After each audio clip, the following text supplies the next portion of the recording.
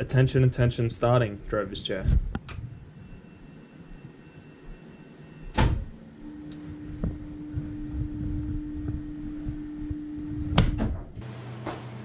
Hi guys, uh, my name's Spencer. I'm the lead de-icer here at Falls Creek and we're just going to talk about a few of the reasons on why we de-ice um, and also a few things to look out for when we're climbing up those lift towers.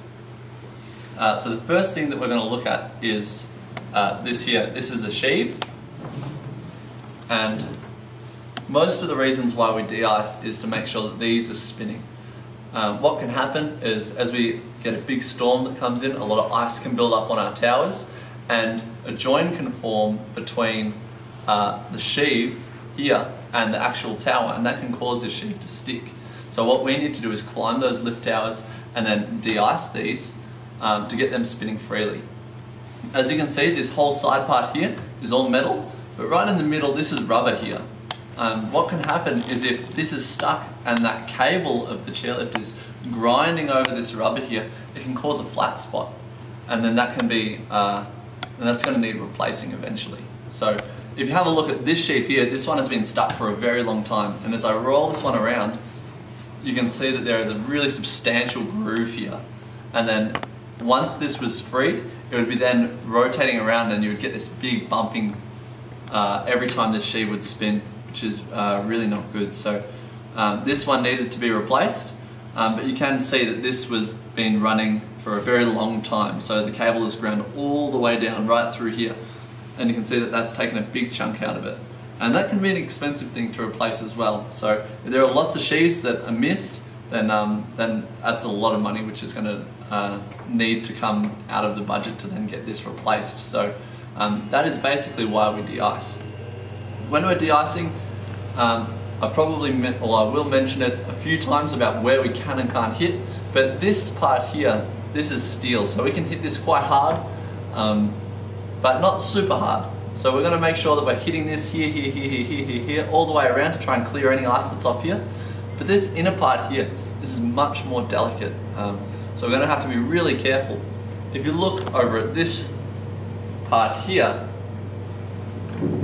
this is the inside part here, okay? And if you have a look right here, we have a pretty substantial crack. And that's because this has been hit by a de-ice hammer, which has then cracked this part of the sheave, and again, this would need to be replaced. Um, you can see there is a few minor dents and a little bit of wear here and there. Uh, that's okay as long as it's, um, but it's far from ideal. So we want to make sure that um, when we're tapping this inner part of our sheave that it is really gentle. Um, sometimes even using the back of our hammer instead of the hammer head. Alright, moving on to uh, a few of the things to look out for when we're up towers. The first one is this here. This is called a brake fork. And these forks here are used so that if the cable was to derail off a sheave, it would break this fork here, therefore stopping the lift. You can see that there is a little weak spot just here. Um, this is on all of our Doppelmayr lifts, so uh, that is you know Fex, uh, Scott's, Castle, and also Summit, and Monkey Bar. So all of these here have brake forks, but all the other lifts have their own uh, different ways of stopping that lift if it was to derail. The second thing, which you'll see when we're out on international, is this thing here. This is called a spar switch. And this will be connected to a little black wheel. So that wheel will run along the cable, but if that cable was to fall off or derail, uh, that wheel would fall down or maybe get pulled up and trip this switch here. Um, this is a relatively easy one to fix. If that was to, to uh, if you were to maybe move that black wheel, all you would have to do is re-flick this switch here and that would um, reset any fault that we would have on the tower. Another one here, this is called a brittle bar and this is from our tower's chairlift. And this one here, this would be sitting along here just like this. And then if this cable was to derail off the sheaves, it would then pull this bar out from here and that would break our circuit. So to reset this, all we would need to do is line up this little uh, divot here, right in the middle, and then push quite hard. And that resets it here as well. The last uh, piece of equipment which we might need to be wary of on a tower is also called a brittle bar. And these ones here are on our new Eagle chairlift and also Drovers. Um, these would be set up just like this, so if the cable was to derail off this sheave, it would then break this part right here on this weakness.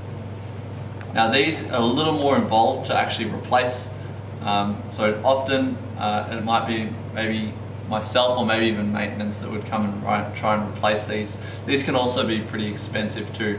Um, each of these go for nearly $160 each, so uh, try and be really careful where you're swinging your hammers, particularly when you're up drovers and eagle.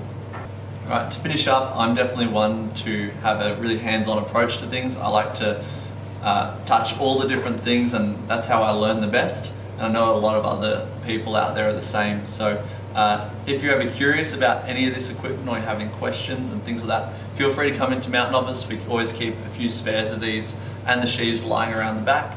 That way we can always try and explain to people in the best way and then that way they can actually see uh, what it looks like and feel it and then that way they know how to identify any of these things when they're up a tower.